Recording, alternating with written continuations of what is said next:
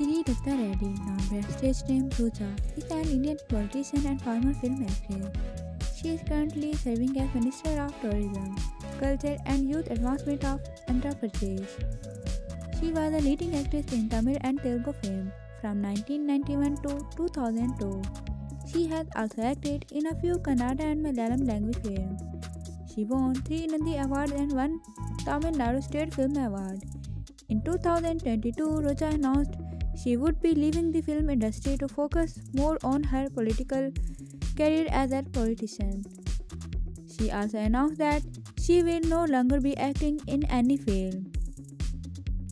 Roja was born as Sri Latha Reddy on 17 November 1972 to Naga Raja Reddy and Lalita. She was the only girl with two brothers. Later, the family moved to Hyderabad.